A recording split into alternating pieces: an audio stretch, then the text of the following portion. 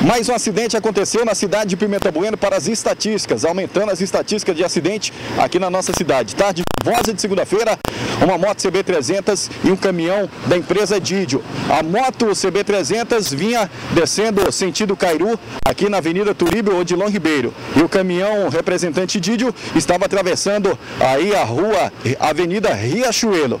Avenida Riachuelo, aqui na esquina, como a gente pode ver, tem uma placa de pare.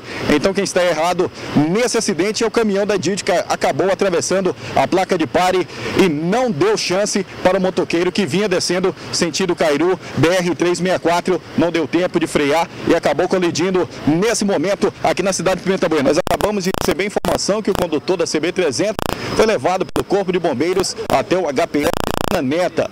As informações é que ele pode ter marcado aí por dentro, com algumas escoriações pelo corpo. O condutor da moto é João Franklin de Oliveira, ele que trabalha numa empresa conceituada aqui em Pimenta Bueno, trabalha para a Sky aqui em Pimenta Bueno, acabou se colidindo aqui com esse caminhão da Didio.